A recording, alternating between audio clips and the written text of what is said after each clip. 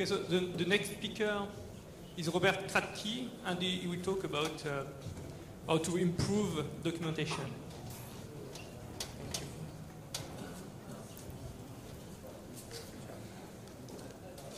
Hello, everyone. Thanks for your interest in this topic. I apologize for the technical difficulties. It wouldn't be a conference without any of those. Anyway, the topic of this uh, presentation is bridging the gap between legacy documentation and modular content. And what I mean by that is basically two aspects of uh, documentation that technical writers at Red Hat uh, are trying to solve. That is the user experience with documentation. At the same time, the amount of work, the maintenance work that documentation writers have to do. So first I would like to outline what I'm going to talk about in this presentation. Uh, I will try to provide an introduction about why we even do that. Do you, why do we think that it's time to rethink that the way we do documentation? I will also talk about the terminology what's in the title of the presentation, what I understand when I say legacy documentation and what I mean by modular content. I will then outline what we think is the problem with this so-called legacy documentation. I will try to explain why I even think that there's actually too much of the documentation. And uh, I will explain why it is hard to find and how, how we hope to fix that. And in the main part of the presentation, I will try to introduce what we think could be a solution to one of those problems and to all of those problems that I mentioned. First of all, we will try to cut down on the amount of content that we actually maintain and that the documentation entails by documenting only what the users really need to really need to have documented. We will also talk about how to facilitate single sourcing of the documentation so that we can bring upstream and downstream closer together. And in the main part, what is modular documentation and uh, how do we achieve, how do you hope to achieve uh, all of the above by switching to a modular form of documentation. Last but not least, I would like to, at the end, save some time to invite your questions and to have a discussion about what your experience with documentation is and uh, what, your, what your project or your organization does in this area and uh, if you're facing similar problems and so on. So let's get started, shall we? About the introduction. Uh, first of all, the question is why? Why we think that it is high time that we rethought the way we do documentation. I like to point out two, two main aspects of that. I like to illustrate that on two, two problems or two areas uh, in which the software landscape is changing, and that is software packaging and software delivery. We've been for a long time used to these big monolithic, mostly distributions, where there would be hundreds or even thousands of packages.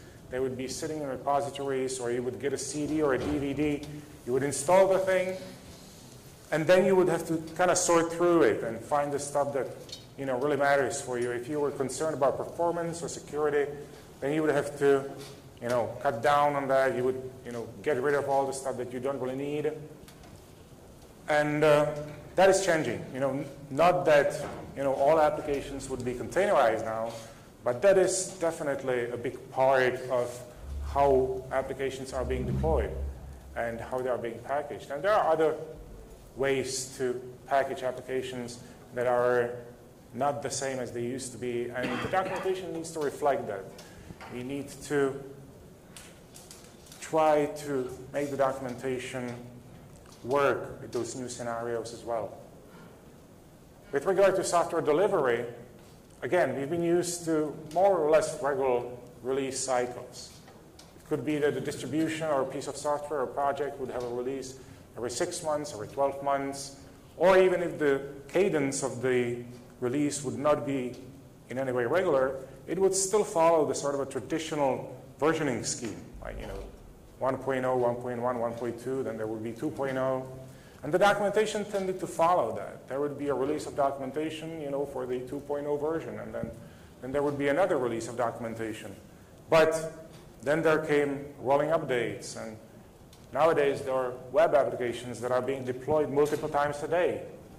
And the sort of documentation that is tied to these release cycles is not exactly covering that. It doesn't really cut it for these scenarios. It should be the way the documentation is released and presented a lot more fluid, flexible. And about the terminology.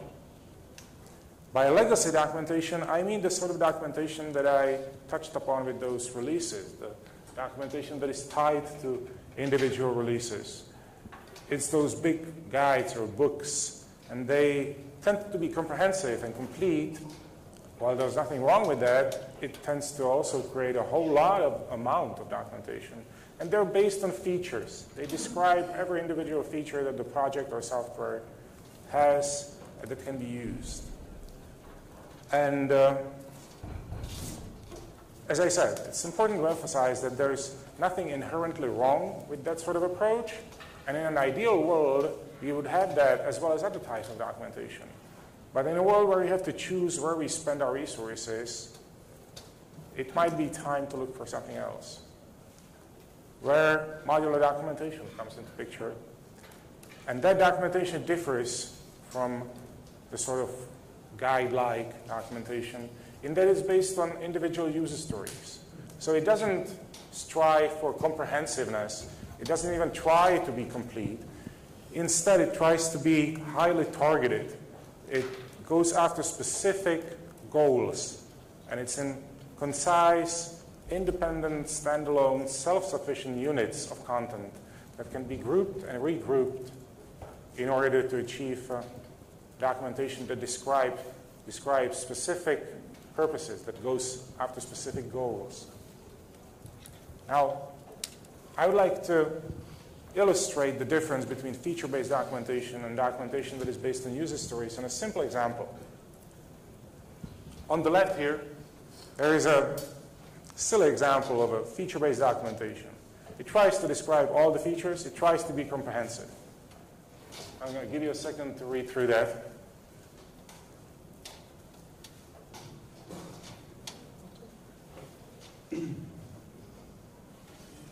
Now, are we good? Let's compare that with the example on the right. This one is based on a specific user story. And it tries to describe how to take the user from A to B. It's about a specific goal. It's about accomplishing a concrete task. Again, take a second to read through that.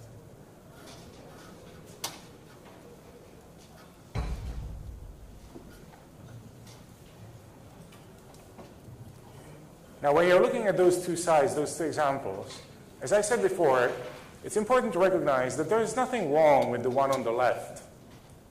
Its feature-based documentation is a sort of reference kind of guide, and it has its uses. However, for many users, unless they are really well versed in this sort of project or features or distribution,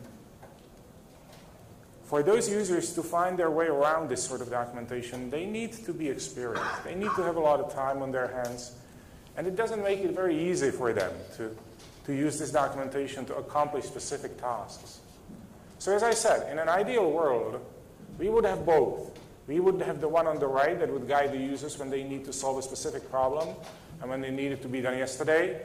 Then, of course, we would also have the one on the left that would be there to describe the stuff as it happens, how the system functions, what the background is, how the features are laid out. So as I will talk about it in the later part of the presentation, we try to facilitate a scenario where the one on the right takes the user from A to B, but at the same time, the sort of modular documentation that we create would allow the user to experience the same, sort of experience that they have with the example on the, on the left. And by the way, as I included down there, when I talk about user stories, I tend to take the sort of a standard agile-like template meaning I'm a sort of a user, I want to accomplish something so that I have some sort of an outcome. Are there any questions at this point before I go any further? Okay, cool. Now, let me try to describe what the problems are, the main, the main aspects of the problems with the legacy documentation. The sort of documentation that is based on features and that is compiled in those big, large books or guides. Now, in that first bullet, there's a sort of a cliche that nobody likes to write docs. Well, it's not really true that nobody likes to write docs. The problem is when there's too much of that. When the content accumulates over time, where you have multiple versions and then you have to maintain documentation for that version and another version, and over time there's just too much of it. It becomes very difficult to maintain. And nobody's really excited about maintaining stuff that's, you know, that has been valid three or four years ago. And it's still valid for certain users who still have that deployed somewhere. But when there's a new contributor, they usually want to work on something new that's they want to describe stuff that they know about. They want to describe how to, how to perform a specific task. So there comes the cliche. Nobody likes to write docs because it has become tedious to maintain those guides. And it also invites a lot of duplication because uh, you know, there are different sets of docs for different versions and uh, the content tends to be used, reused, but not really nicely. And if it's updated in the new one, it tends to be overlooked in the old one. Anyway, it leads to documentation that tends to become obsolete. That's a problem. Secondly, the documentation is hard to find. And by that, I don't mean that it would be hard to Google for a documentation and you wouldn't find, you know, for example, in Fedora, we have an administration guide, we have an installation guide, a security guide, a networking guide. But when there is a user who wants to you know, configure SSH to be able to securely connect, connect to a remote server, what do they use? Well, they probably need to find something in the installation guide, as well as in the security guide. It's about security after all. It's also about networking, so they will have to find something in the networking guide and the system administration guide. Well, there's probably going to be a little bit of that as well. In reality, they would need to sort of cherry pick pieces out of all of those guides. And while it's possible, it's certainly not exactly user friendly. And it takes to take a lot of time, and the user needs to be familiar with inside all of those guides. Well, oops. So what they do? Well, they Google it, they end up going to somewhere as a Stack Overflow or something like that. And while there's nothing wrong with finding your answer at Stack Overflow, it tends to indicate that there's actually some deficiency with your documentation. Because the user, instead of being able to find the documentation that you have produced, well, they try to find it somewhere else. Lastly, the documentation is very hard to navigate because those guides tend to be very long and while it's useful for, you know, control F searching, it's definitely not useful for navigation. There's no hierarchy usually. And the experience is very hard to customize because when you take those guides and you want to save them, for example, for offline use, well, you get a humongous PDF or a huge pile of HTMLs that you have to browse. You cannot really find and take only the stuff that you want.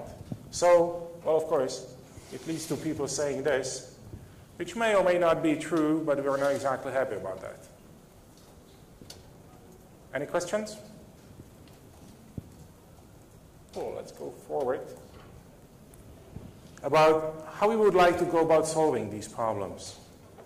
Well, we recognize that our solution is not the one-fits-all size, but we tend to think from experimentation and from conversation with support people and with communities, that it could be a way to go forward. So first of all, we would really like to concentrate on the stuff that the users really need. And in order to do that, in order to be able to cut down on the amount of content, to ease the maintenance burden, we need to identify user stories that are really valid for users. We need to work with the community, we need to work with the engineers, we need to work with support organizations, and find the user stories that the users really are interested in and that tend to solve the majority of the problems, or not the majority of problems, but the most common problems for the majority of the users. And by that, we should be able to achieve a more efficient use of our resources. That doesn't mean that there still wouldn't be some sort of a maintenance burden, but by trying to cut down on the amount of content and by communicating with the users about the user stories that they're really interested in, we are able to slowly reduce the amount of maintenance work. Also, when we try to bring upstream and downstream closer together and even single source the documentation than upstream and downstream users, we not only save time by avoiding duplication and not only duplication of content but of effort, but we're also able to bring new contributors on board because it just becomes easier. Upstream may not be at all concerned about how the project or software is being productized by company or some other project, but when they have the possibility to contribute to a single source repository, it's a very good thing. It also helps to bring the developers on board. Now, there's another cliche that developers don't like to write documentation. And of course, some of them, they like coding better and they tend to think as documentation is something inferior, but that's definitely not across the board. And when we make it easier for them to contribute to the documentation, it becomes a whole new different story. And lastly, about the modular authoring and presentation of the documentation. This is basically the method that we're using to achieve all of the above. Now, I will talk in the next series of slides about what the modules and assemblies that I have here listed, the main components of our modular documentation, what they are, how they're formed, and so on. But first, I want to touch, up, touch upon the second bullet about the so-called curated assemblies and ad hoc docs. Now, by that I mean, and as I'm going to explain a little while later, an assembly, in our terminology, would be a realization of a user story. When there exists a user story, it has been identified, has been validated. We know what the user wants to achieve. We write, form, adopt some modules, and we assemble them, we collect them, combine them in a so-called assembly, and that becomes a description of the user story, a realization and documentation of the user story. And of course, such assemblies that are based on user stories that have been properly identified and validated, they could be called curated because we've put a lot of effort in them and we've made sure that they make sense. However, we recognize that we're not ever going to be able to identify all of those user stories. There's always going to be, you know, the guy who wants to install his Linux distribution on his internet-enabled refrigerator and use it to drive his home cinema or something like that. You know, it's unpredictable. So we recognize that, and we also want to allow these users to experience the sort of stuff, the sort of experience that they would have the, with the reference documentation with the one that's based on features. So we try to come up with a really solid system of metadata that would be assigned to the individual parts of the modular documentation. And we would allow the user to browse through the entire body of the documentation that we have based on this metadata. It becomes highly hierarchical and it becomes possible to select the bits and pieces of the documentation that pertains to the particular problem that the user is trying to solve or the particular area that they're interested in. So I choose here to call it ad hoc. What this allows us to have the presentation of the docs dynamic. It's not static anymore. It's not one huge page or guide. It becomes possible for a user to dynamically select the kind of stuff that they are, that they are interested in and go away with that and use that. Again, questions? Cool. Let's describe those assemblies and modules. These are really the main components of what we call modular documentation. As I said before, I touched upon shortly, when we have a user story and we want to document it, we think about that realization of a user story as an assembly. It's a whole bunch of modules and other stuff that is being put together, combined in a coherent way to form an assembly. Now, I have a short note here that we purposefully avoid the word topic, even though many people say topic-based documentation and stuff like that. But we have found that it's, it's too loaded. The word is just too ambiguous. Everybody thinks that topic is somewhere, something else. So we just, that's the reason why we're not using it. Anyway, so we have an assembly and we have to populate it. So we have some sort of an introduction that should have a title, that should explain the purpose, what is going to be accomplished by following that piece of documentation. Might also have a list of prerequisites, some sort of conditions or steps that need to be taken before the user goes and follows this piece of documentation.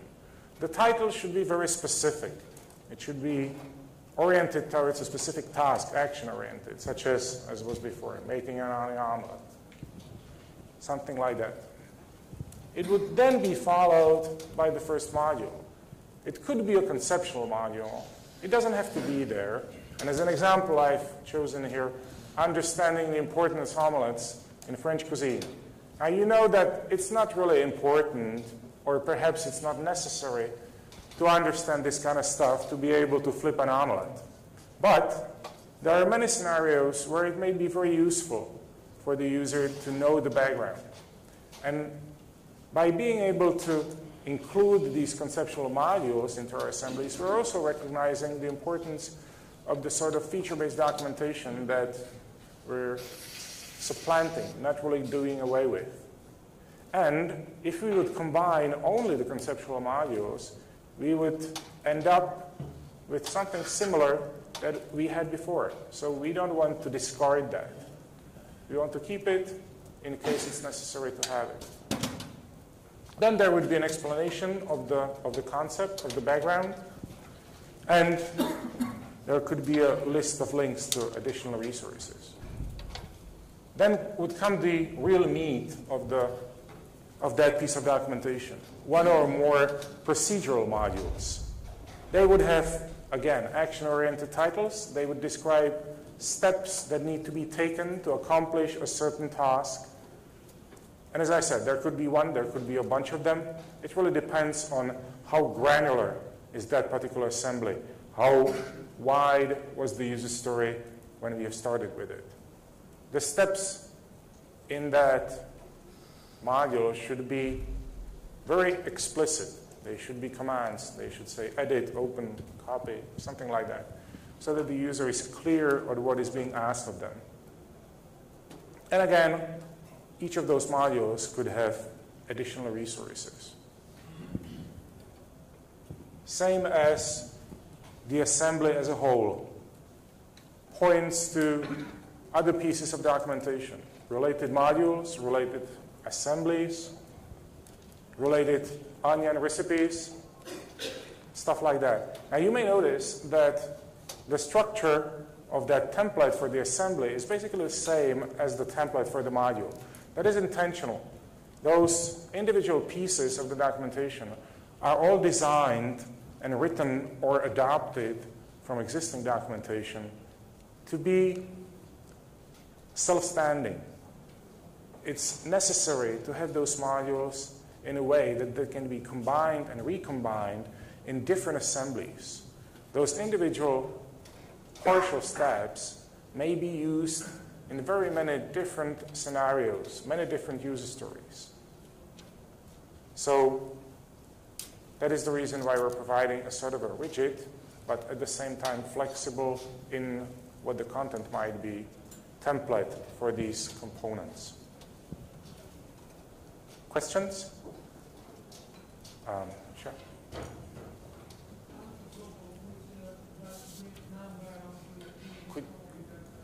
Sorry, could, could you use the microphone, please? How, how to cope with uh, a great number of uh, assemblies that uh, uh, came out uh, in, uh, in the project history. So Sure. if, if with legacy doc uh, we have uh, big manuals. I, I guess with uh, this approach we will end with uh, having a great number of uh, these documents. And uh, So you're asking how to organize the assemblies that we're going to end up and, with and, and, uh, and maintain. And, maintain them? Yes, uh, that's a very valid question. I actually have that included in, in one of the latest slides about the discussion. That's uh, something that we have to apply uh, a lot of planning for. We try to come up with content strategy that would allow us to keep organizing this. We have explored many different uh, ways to keep track of what user stories are being put together, what assemblies are being uh, populated in order to describe these user stories, so that we don't lose track on, you know, let's say that we would have a whole bunch of assemblies for beginners, but we would be lacking the more advanced stuff, or we would have user stories that would be identified for a specific area, but we would be lacking some other ones. So what we have come up with uh, is uh, for different products or different projects uh, that we're documenting, uh, mind maps that would allow us to keep a visual overview of uh, what do we have available, what is missing, and uh, what still needs what still needs to be done, and how it all relates together, so that we we don't have an overly documented one part of a project and then big gaps in another part. thank you.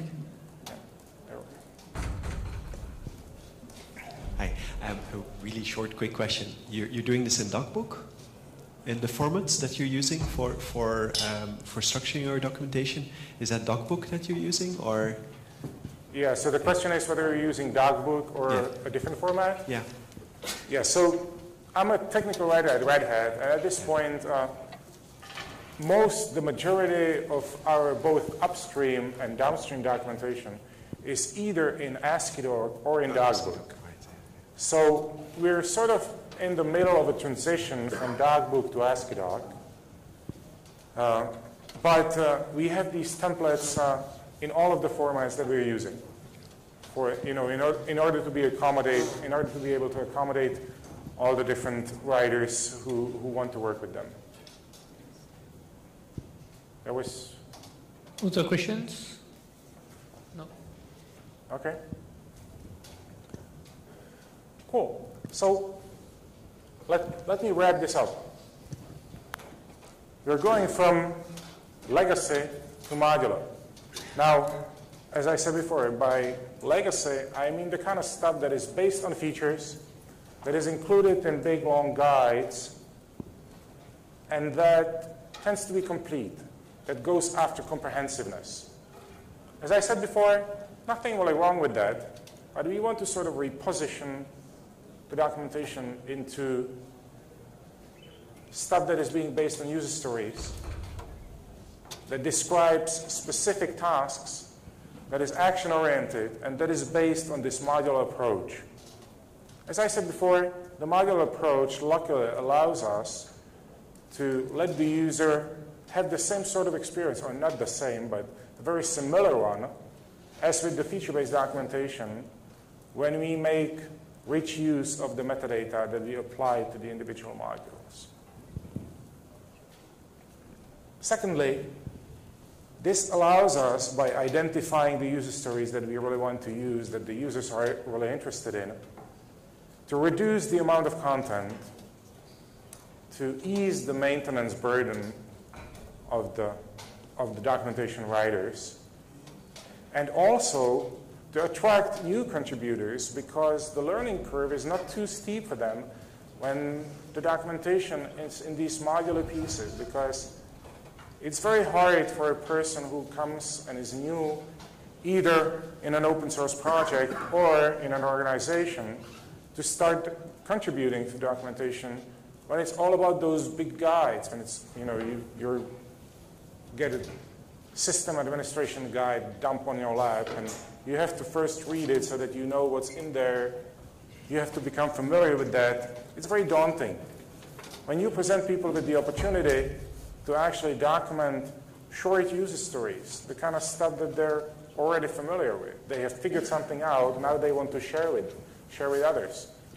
So they can document, they can provide a procedure that would become a module, they can provide a bunch of modules, they can even populate an entire assembly slash user story. So not only are we cutting, cutting down on the amount of content, we're also making it easier for people to pick the pieces that they want to document and start right away. And thirdly, we're trying to improve the experience for the end user by making it easier to navigate the documentation and by taking it from static documentation into dynamic presentation. And that is being accomplished by heavy use of metadata which allows us to present the documentation in a highly hierarchical way, starting from the top where it's not really granular, going down through a hierarchical structure based on the dynamic presentation of the metadata-based documentation. Yes? Uh, some, there are two questions there. Could you please?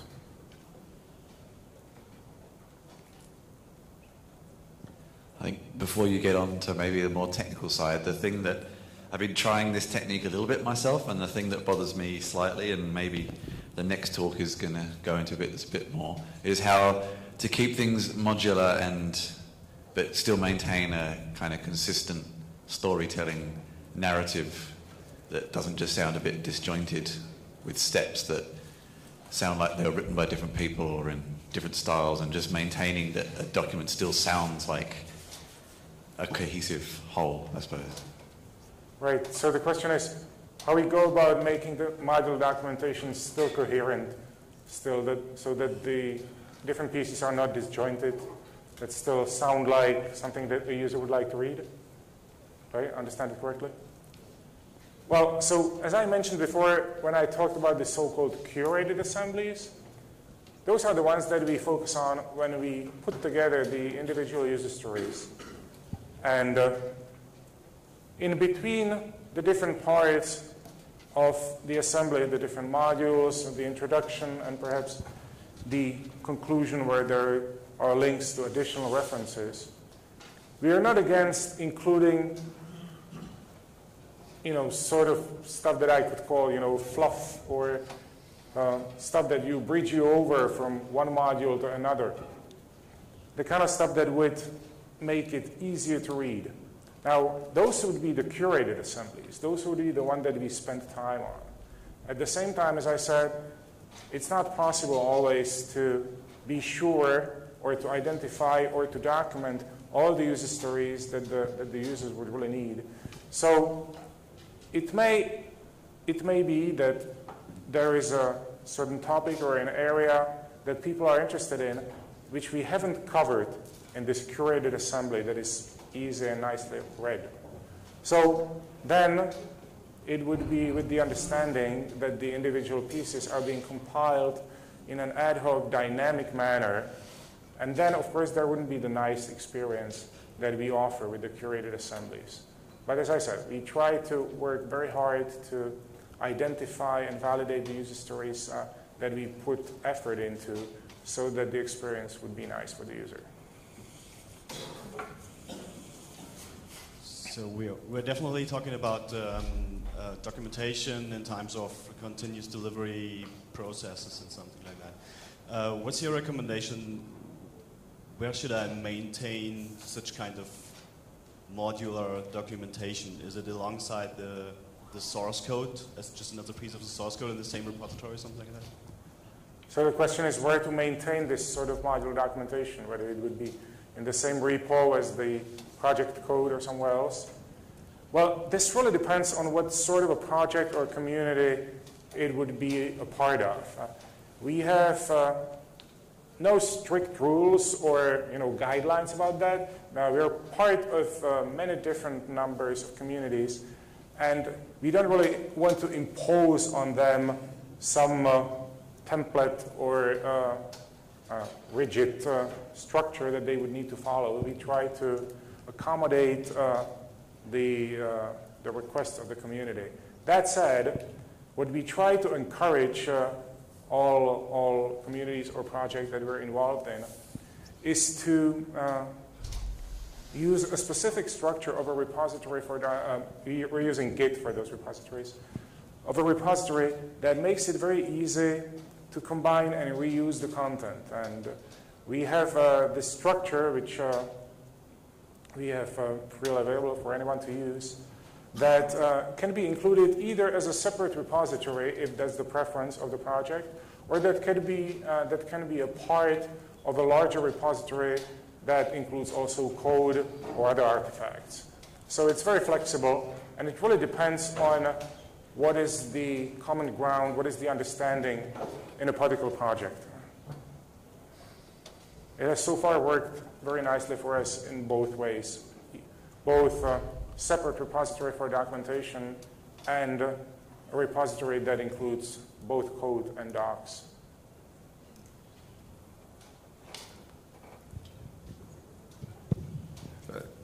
Okay, just one thing, because uh, it's not clear. When you say dynamic, in the dynamic presentation, you, when you create a user story, uh, this is composed by several parts, but these parts are made the, only for that user story or are still part of uh, small sub-pieces? Because I was just wondering if um, I could create my own user story using these sub-pieces, like picking up sm smaller amounts that you use of information that you use to create your user stories and, and making it, because if the user story that I'm looking for is not existing, can I make it up or not? Well, if I understand it correctly, the question is whether you can come up with your own user story that is not part of what we have been documenting. Is that correct? Well, of course, yes. Uh, on the one hand, uh, we try to encourage documentation writers not to rely on themselves only when identifying the individual user stories. Because they, as documentation writers, might have very different ideas about what is, being, what is necessary to describe as a part of documentation as opposed to what the users really need.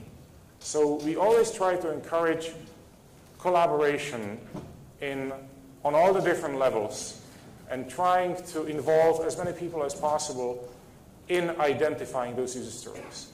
That said, if there is a user who you know, has a specific use case or has a specific task that needs to be accomplished, and uh, so they identify a user story for themselves, and then they want that user story to, to be documented. We either accept that as a, you know, a bug or an enhancement that needs to be done, or we invite the user to be the one to, you know, start the documentation and, uh, and document that user story. Is, does that answer the question? Sure. Um, it's a bit of a plug. Um, Uh, we're working on an open source uh, Drupal uh, distribution for doing modular content that allows you to pull um, like topics or, -huh. or, or modules or however you want to call them uh, from different repositories and then compile them into one single uh, website that, that publishes your documentation so that you could combine documentation from different projects. If there's anybody in the room who, who needs a system like that, um, just come and see me um, and then we'd love to, to follow up on that. Any other question? Well, I, I, do have a remark, well, a question, sort of. Uh, I think that some, some, something that is uh, hard with the modular approach is to be able to oversee all the modules and how they can be re reused. So if, if you have uh, one um, user story, I agree that it's, it's much easier to, to, to change it somewhere. And, uh, but the, the, there is a new role which is assembling all in, assembly, in assembly all those modules and, and having an idea of what should be specific, what should be generic, and, and I think that that's um, a very um, th th that's a role that really needs to have an overview of uh, even more, uh, even wider overview than in the legacy uh, documentation. Do you have uh, something to say about that? So the question is where, how we track where the different pieces of the modular documentation are being used, basically. Yeah, and and also in, how, how to how, how to have an idea of what needs to be done and what can be reused. Opposed, I, I don't know. People start with their own stories, so they do their own modules, and then it, it's nice if uh, some can be uh, uh, brought together because they are similar. Maybe Yes. they just need some, some, some little stuff to be different at the beginning. Then, and overseeing all that kind of process that seems to be quite hard to, to do and really need some uh, very big overview of uh, Right, a lot of yeah. things. So, I understand. So two levels of, a, of an answer to that question. First, as I mentioned before, we use uh, mind mapping software to keep track of uh, the different parts of uh, uh, the project or the aspects of uh, what needs to be documented, to, to keep track of what we have already documented and what needs to be still done. But at the same time, as I mentioned, the metadata-based hierarchical presentation of the documentation allows us to very easily filter for what uh, for different pieces of documentation that we already have. So, for example, if you, you know you're interested in security documentation, it's very easy for us to filter all the pieces of documentation that we already have that touches upon security, and you can go deeper, more granular. The deeper you go, the you know narrower the selection is going to be, but it, it allows you to very easily see in what sort of documentation already exists in what areas. So that when somebody wants to document a user story, they first go through the available body of documentation and they see whether some of the procedures or tasks have already been described and whether they can reuse them so that they wouldn't you know, do it over again. And uh, as I said, the hierarchical structure makes it uh, quite convenient to, to browse through that documentation, even though uh, it starts out as a very large body of documentation, you can easily get down to what you're really interested in.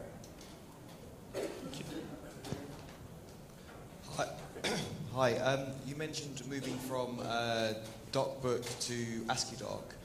Um, did you consider also, uh, I like AsciiDoc, I do like it, but did you also consider Markdown? Is it too simple or just not as fully feature? So the question is whether we also consider Markdown as a format for documentation.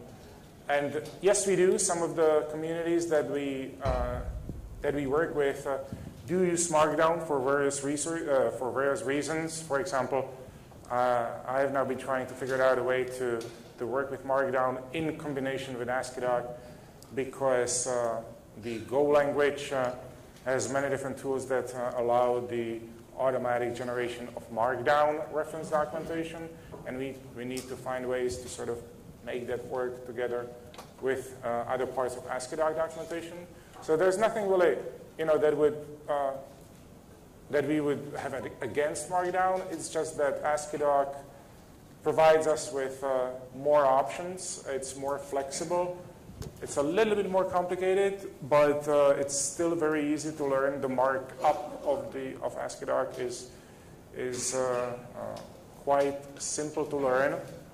So it's it was just a conscious choice to go with AsciiDoc because uh, the tooling around AsciiDoc, such as AsciiBinder and other pieces of software, are very convenient and allow us to do a lot of things with it. What sort of tooling do you use, like uh, with, with uh, Asciidoctor or? So for AsciiDoc, we mostly, uh, for rendering, we mostly use Asciidoctor. As I mentioned, we also use AsciiBinder in different projects uh, to actually uh, present uh, the documentation on websites. And then we have um, many different uh, in-house tools that are, you know, out in the open on GitHub and stuff, and that solve different problems. Uh, and uh, provide different templates for, for individual pieces of documentation. I can uh, go into details if you're interested uh, afterwards, I would, I would suggest. Can we have just one more, I think, perhaps? Excuse me? Another question. Do we have time? I haven't heard the last.